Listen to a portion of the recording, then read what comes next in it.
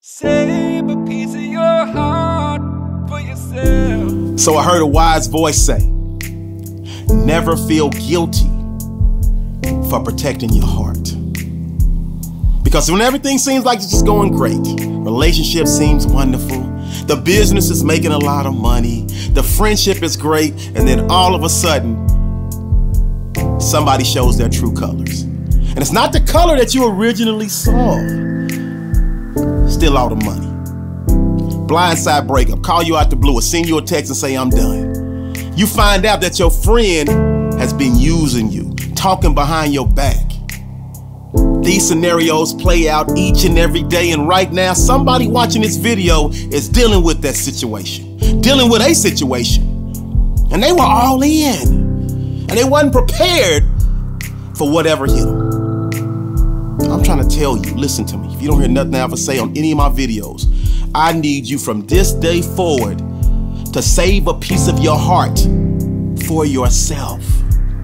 You have to be mentally prepared. You have to be prepared to deal with people. You're dealing with living human beings that are imperfectly perfect, just like you. And they will make some poor decisions, they will make some poor choices, and they're gonna step on you before they step on themselves. So you have to prepare yourself. And, I, am not saying don't. I'm not saying don't be all in in your relationships. You should be all in. Let, let me say like this. You need to treat each and every person that you deal with, let's say, like a volcano. Okay, volcanoes they lie dormant for years, and then all of a sudden they can become active. So I need you to understand that you have heart muscles, emotion muscles that you need to exercise. But you also need to exercise your move on, pick yourself back up muscles. So when you're in a relationship, when you're in a business, when you're in a friendship, you're all in. And you and you and your heart muscles are active. Your love muscles are active. Your friend muscles are active. But your move on, pick yourself back up muscles are dormant. And whenever that person does something that shows you their true colors and they expect you to break down expect you to cry and expect you to hurt and expect you to feel like you're broken, you activate your move on muscle. You activate your pick yourself back up muscle.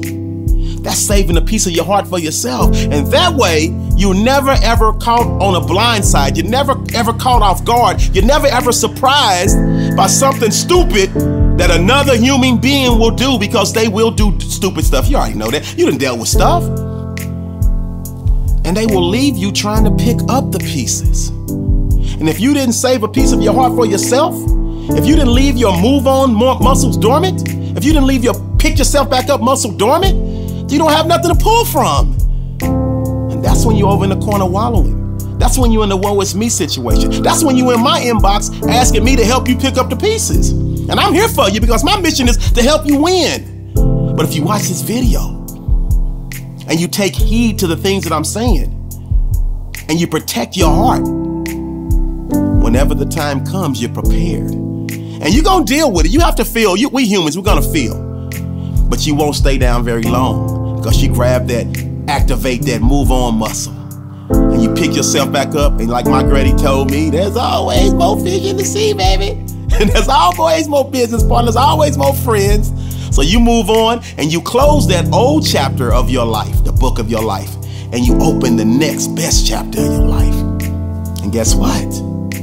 You are now well on your way to winning. And that's what these weekly conversations are all about putting you in a position to win. So do yourself a favor. Go be great and elevate. And if this touched your heart, your spirit. Please share, because there's a lot of people out there that need this one. And say, a piece of your heart.